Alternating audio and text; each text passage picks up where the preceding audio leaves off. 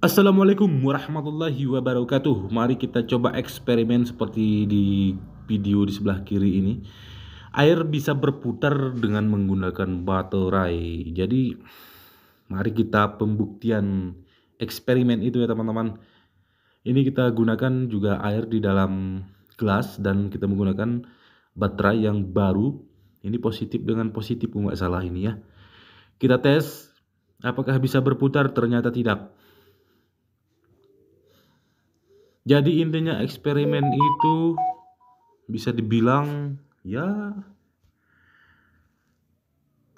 ada alat untuk membantu air itu bisa berputar ya. Ini kita coba positif positif positif negatif negatif negatif.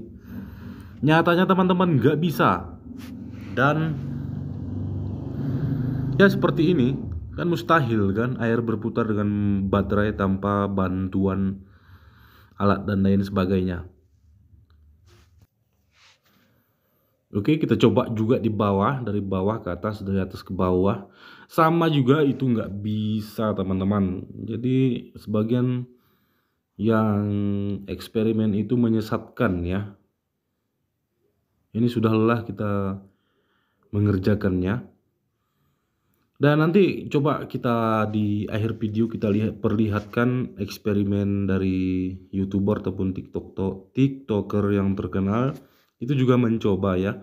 Mencoba bagaimana uh, mengeksperimenkan ini. Dan dia juga memperlihatkan caranya. Ini dia teman-teman dia bisa akan tetapi ada alat di sampingnya itu. Ini dia teman-teman.